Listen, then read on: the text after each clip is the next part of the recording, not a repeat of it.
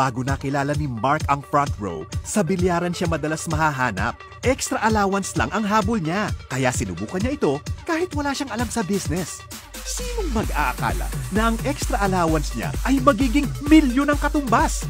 Ngayon, at the age of 19, isa na siyang ganap na milyonaryo at unti-unti na niyang nakukuha ang mga pangarap niya.